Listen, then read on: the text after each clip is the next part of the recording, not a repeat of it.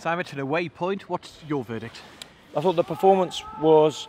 Uh, listen, first of all, the game wasn't a classic, but the performance um, was good. Just wasn't very good because we just didn't get the goal. Now we were um, more organised, uh, harder to play against, and really, especially coming away from home, really controlled the first half. I'm not saying we controlled it with the ball, but Blackpool couldn't really get out of their own half. And it was just the last action today. That's all we were missing. The, the final pass to create to the to the goal or the, the the shot. It was just that last little piece that was missing over what was a a, a very very controlled um, performance. At half time, did you fancy yourself to, to go on and, and, and get the win? Yeah, it was an easy half time. It was just can you maintain that? Can you keep up that level of aggression, the intensity?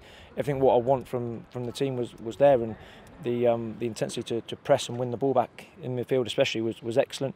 And then it was just on the on the breakaway, um, just that final pass or the final shot just didn't quite happen for us today, um, like it happened so well in the second half at Stone.